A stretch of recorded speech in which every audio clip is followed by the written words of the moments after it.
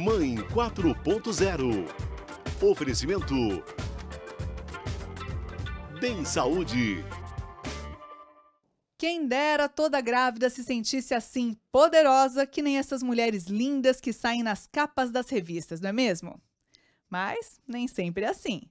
O problema é que, com tantas mudanças hormonais acontecendo, como já falamos aqui, as alterações físicas são inevitáveis.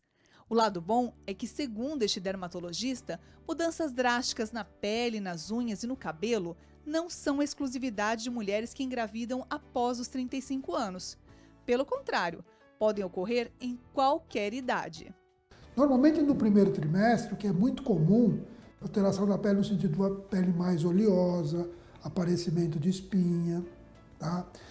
Pode começar às vezes a aparecer as manchas, pode ter uma queda de cabelo inicial, as unhas ficam mais frágeis, pode ficar mais quebradiças, piora a celulite, entendeu?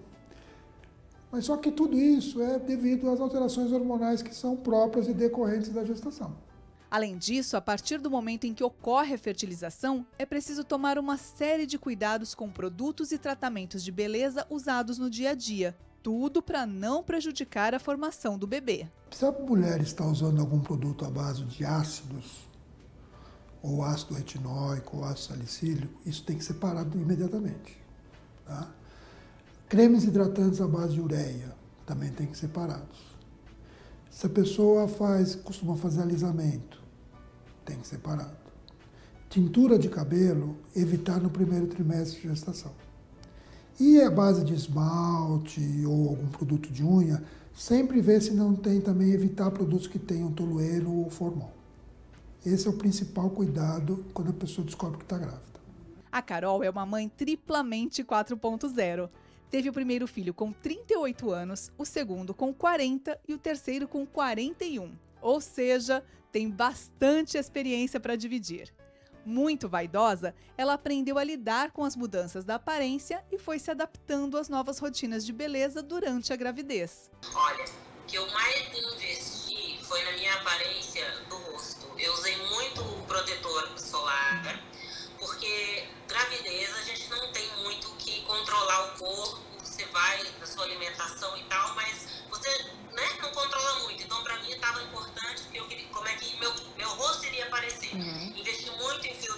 Porque antes da gravidez, eu estava fazendo um tratamento de ácido. Uhum. Tive que parar por conta da gravidez, então mandei no filtro solar.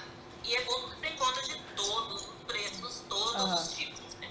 Além disso, a Carol precisou passar ainda por outro tipo de adaptação Natural de Rio Preto, mas casada com um eslovaco, atualmente ela mora na Europa, lugar com costumes de beleza bem diferentes dos nossos aqui do Brasil. Como aqui na Europa as pessoas não têm o costume que nós temos no Brasil de fazer a unha toda semana, aqui a gente usa muito unha em gel, uhum. é, o esmalte em gel. Uhum. E eu sempre tive medo em todas as estações de usar o gel por conta daquela luz azul que a gente coloca a mão. Uhum. Então eu tive que acostumar a ficar sem é, esmalte, para mim parecia que estava faltando alguma coisa. Ah, ótimo, cara. Obrigada, viu? Então, como manter a autoestima durante esse período tão novo e delicado da vida da mulher? O cabeleireiro Alex Santana dá dicas. Acontece muito depressão pós-parto por conta que as mulheres elas deixam de se olhar, entendeu? E aí, quando chega a criança, todo mundo olha a criança. Exatamente. Também esquece do esforço todo que foi ela quem fez. Uhum. Então, é, se valorizar, se cuidar, gostar de si mesmo. Você está grávida, não está doente. É, uhum. É, eu sempre falo isso para as minhas. Você está grávida, não está doente, entendeu? Uhum. Você tipo, você pode sim malhar, você pode sim cuidar desse cabelo, você pode sim ter um bom corte, deve, precisa, precisa na verdade. Precisa, né? Se ah, sentir bonita. Que, chegando, aos, chegando nas últimas semanas, é a semana que você tem que vir. Antes, se você. Hoje tem todo um planejamento, você sabe o dia que você vai ter o filho, Sim. praticamente. Tem muito. Uh, então, você tem que vir naquela semana, tirar as pontinhas, porque você sabe que os dois próximos meses vão ser muito, muito corridos. Maravilha. Então vamos ver então o que, que dá para fazer para levantar a autoestima? Bora lá então.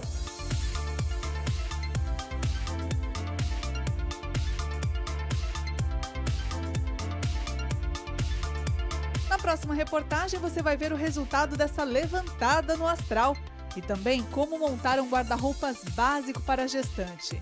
Eu te espero segunda-feira aqui no SBT e você.